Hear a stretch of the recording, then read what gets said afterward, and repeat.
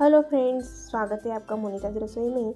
आज मैं आपके लिए कुछ हेल्पफुल किचन ट्रिक्स लाई हूँ, जो आपके लिए बहुत ही यूज़फुल है। रोज़मर्रा के काम करते समय घर के किचन में हो या अपने घर में हो, बहुत सारी समस्या आती है, बहुत सारा समय लगता है कुछ काम करने के लिए तो इस ट्रिक से आपका समय भी बचेगा और आपके काम फटाफट हो जाएँगे। तो चलिए पहले ट्रिक की तरफ़ बढ़ते हैं। मैंने ये कुछ भीगी हुई मटकी और मूंग लिए हैं। सात से आठ घंटे के लिए मैंने भिगो के रखा था इसे। आप फ्रिज में भिगो कर रख सकते हैं, लेकिन इसमें अगर स्प्राउटेड हमें अंकुरित करना है बीजों को तो बहुत सारा समय लगता है। कुछ बनाना है तो फिर और सात आठ घंटे वेट करना पड़ता है। तो इसकी एक ट्रिक है कि सबके घरों में कैसरोल तो होते ही है। तो कैसरोल में अगर आप इसे चार पाँच घंटे के लिए रख देंगे तो ये अपने आप अंकुरित हो जाएँगे। इसे सलाद के रूप में खाना हो या कुछ रेसिपी बनाना हो तो बहुत ही कम समय में ये अंकुरित हो जाएँगे। कैसरोल में हम रोटी तो रखेंगे ही, लेकिन स्प्राउटेड बीज बनाने के लिए ये बहुत ही यूज़फुल है। अब चलते हैं दूसरे ट्रिक की तरफ़। ये बिजली का स्विच बोर्ड है, जो बहुत ही गंदा हो चुका है। ये किचन का है, इसलिए तेला तेला चिपचिपा भी हो चुका है। इसे साफ़ करने के लिए मैंने कॉटन के कपड़े को थोड़ा सा गिल्ला कर दिया है और इसके ऊपर मैंने टूथपेस्ट लगा दी है। ये टूथपेस्ट थोड़ी मैले कलर की है, लेकिन आप कोलगेट ले सकते हैं। कोलगेट तो सफ़ेद ही रहती है। तो इस तरह से सब पेस्ट को बोर्ड के ऊपर जहाँ जहाँ ज़्यादा गंदगी है, वहाँ ज़्यादा लगाना है और इस तरह से फैला देना है। और चार पाँच मिनट के लिए फिर हम इस पेस्ट को ऐसे ही लगा कर रख देंगे। इस तरह से देखिए, वो गिल्ले कपड़े से ना ये जल्दी फैल जाएगी बोर्ड के ऊपर। अब मैंने दस मिनट ऐसे ही रख दिया था।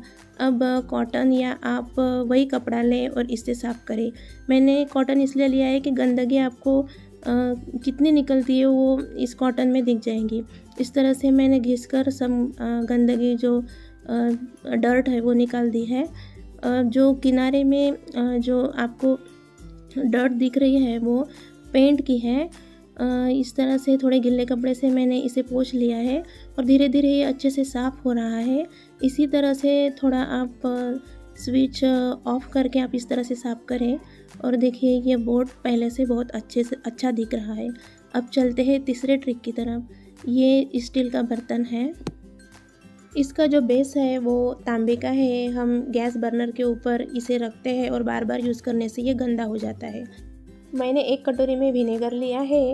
विनेगर से इसका बेस गीला कर देंगे और अब मैंने खाने का सोडा, जिसे बेकिंग सोडा भी कहते हैं, वो बेकिंग सोडा लेंगे। इस तरह से स्क्रबर से इसे साफ़ करेंगे। ये बिना मेहनत से ही ज़्यादा हम लोग को मेहनत नहीं करनी पड़ेगी। ये ऐसे ही धीरे धीरे हम इसे घिसेंगे तो इसका बेस इस तरह से साफ़ हो जाएगा। अब हमें इसे पानी से धोना है। मैं पानी से धोई हूँ तो भी अच्छे से अच्छा साफ़ दिख रहा है। आप चाहे तो इसके ऊपर थोड़ा सा साबुन या लिक्विड लगाकर इसे साफ़ कर सकते हैं। और इसका पूरा पानी निकल जाएगा तो साफ़ कपड़े से इसे पोछना है ताकि इसके ऊपर पानी के बूंदों के दाग न पड़े। आ, कपड़े से पोछने से दाग दिखते नहीं हैं और बर्तन साफ़ सुथरे रहते हैं। अब ये हमारा चमकता हुआ बर्तन यूज़ करने के लिए तैयार है। इस ट्रिक से आप इस तरह से तांबे पीतल के बर्तन साफ़ कर सकते हैं। तो बढ़ते हैं अगले ट्रिक के साथ। ये किचन का बर्तन धोने का सिंक है, बहुत ही तेला तेला और गंदा हो चुका है। इसे साफ़ करने के लिए मैंने हैंड वॉश लिक्विड थोड़ा सा लिया है। थोड़ा सा नींबू मैंने कटा हुआ लिया है और लिक्विड के साथ नींबू को सब जगह सिंक में इसे रगड़ना है। इस तरह से जहाँ ज़्यादा गंदगी है, वहाँ इस तरह से साफ़ करें। नींबू से बैक्टीरिया भी ख़त्म हो जाते हैं और कोई भी चीज़ अगर फ्रिज भी आपको साफ़ करना है तो नींबू का रस या विनेगर से साफ़ करें। इस तरह से हैंड वॉश लिक्विड से और नींबू रस से हमारा सिंक चमक जाएगा। ये देखिए, ये जो स्ट्रेनर है, इसे भी मैं टूथब्रश से साफ़ कर रही हूँ। उसी लिक्विड से इसे साफ़ करना है। इस तरह से इसके किनारों को भी साफ़ कर लेंगे। ये देखिए, घर की कुछ ही चीज़ों से किचन ट्रिक्स को अपनाकर हम घंटों का काम मिनटों में कर सकते हैं। किचन में तो गृहिणी को इतने सारे काम रहते हैं कि गृहिणी को लगता है कि कब हमारा काम जल्दी ख़त्म हो जाए। तो इस ट्रिक के साथ हमारे काम भी बहुत अच्छी तरीके से हो जाएँगे और हर चीज़ हमारी साफ़ सुथरी और समय भी हमारा बच जाएगा। इस तरह से हमारा ये किचन ट्रिक के साथ कुछ ज़्यादा ही चमक रहा है। देखिए और चलते हैं अब अगले ट्रिक के साथ। मैंने आधी कटोरी विनेगर लिया है। इसमें हम एक चम्मच बेकिंग सोडा, जिसे खाने का सोडा भी कहते हैं, वो डाल देंगे। इस तरह से इसमें बबल्स आ जाएँगे। अब हमें इसमें ये गैस का बर्नर है। ये बहुत ही ख़राब हो चुका है तेला तेला हो चुका है, इसे हम डाल देंगे। मैंने छोटा बर्नर लिया है, आप बड़े बर्नर हो तो बड़ी कटोरी लें।